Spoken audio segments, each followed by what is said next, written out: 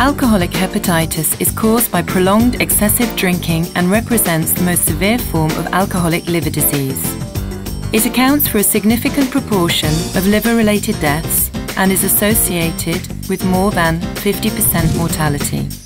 Currently, there is no effective treatment for this condition. What we found was that alcoholic hepatitis is driven by the pro-inflammatory cytokine interleukin-1 beta. And we also found that inhibition of interleukin-1 beta using pharmacological approaches improves liver regeneration. Currently, we are testing whether this approach applies also to liver damage caused by paracetamol. So therefore, the clinical trial, which has recently been launched in four US academical centers, is focused only on alcoholic hepatitis. So the purpose of this study is to find the optimal mixture of treatments which will mitigate liver inflammation and will improve outcome of this deadly disease.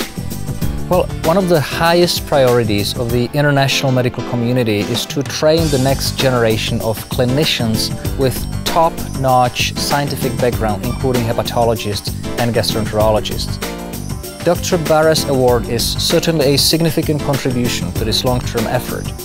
Since the 1990s, Dr. Bares Award has fostered career development of many accomplished individuals in gastroenterology or liver-related areas.